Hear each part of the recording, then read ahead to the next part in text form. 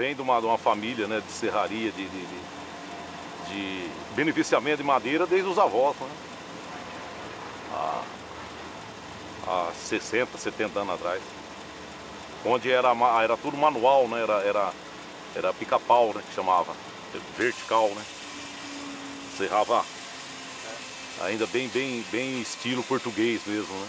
As madeiras né, que nativa que a gente cortou, meus pais, meus avós, era peroba, peroba rosa, ipê, cabriúva, cedro. Era, essas árvores eram tudo nativa da região. Era o próprio funcionário da serraria, né? Tudo no trançador e no machado, né? Para derrubar. Não havia motosserra. Essas madeiras, além de ter extinguido praticamente, está extinta, ainda é, hoje é proibido, né? Você não pode mais derrubar a mata natural, né? E ainda tem variedades que a gente encontra na, na, na, na região, mas é mais exemplares, né? No, no Ipi, por exemplo, a gente vê muito ainda, mas só nas matas de encosta, né? Você não vê mais assim. Olha, naquela época não tinha, né? Era, era, tava começando o reflorestamento de eucalipto, porque o eucalipto surgiu na região devido à a, a, a, a, ferrovia, né? Que os ingleses veio fazendo a ferrovia e ao redor delas, em volta, foi plantando eucalipto para abastecer as caldeiras da, da, da, da, da Maria Fumaça, né? Extinta Maria Fumaça, que é a, a máquina. Então, era usado só mesmo para caldeira, não era usado pra, como, como matéria-prima para construção civil. É, o pinus também já é reflorestamento, né? E, e o eucalipto também é todo reflorestado. A gente só manda no mercado interno, né? No, no, no Brasil. Esse, essa é regional, mas também a gente manda para São Paulo, para outros estados até. Só manda, a maioria só mesmo, ela é só beneficiada, né? Que é a vigota, o caibro. Não, nós usamos a madeira, por exemplo, o deck de madeira, né? Que é eucalipto, esse que você está em cima, é o deck de madeira. Esse aí é eucalipto tratado. Usa muito para tratamento. Ah, já tem no, na região que tem várias firmas já de tratamento de autoclave. Então a gente beneficia, aparelha e manda tratar, né? Que é o tratamento próprio para o eucalipto. Ah, hoje eu tenho 20 mas nós chegamos a ter 120 né, funcionários. Na época mesmo de, de, de, muita madeira. Que a madeira também está ficando extinta, né?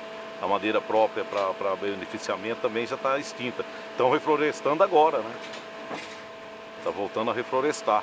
E hoje já tem a incentivo, né? E a, a gente pega ao redor aí um, um círculo de 100 km, 110 no máximo. É, no mercado aberto não tem fixo né?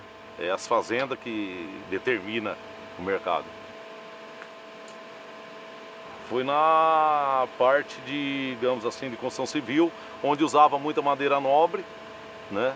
E hoje praticamente o eucalipto está em toda a construção civil, toda desde casa até prédios, né? Existe o mogno, né, e a cerejeira, mas aí é só por determinação do, do IBAMA, as empresas que tiram são mais estrangeiras, né?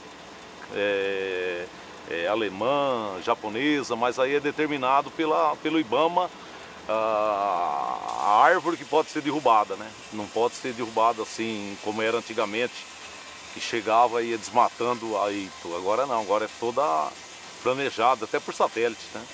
Ela é monitorada. É, todo controlado. É, mas é no mato, né?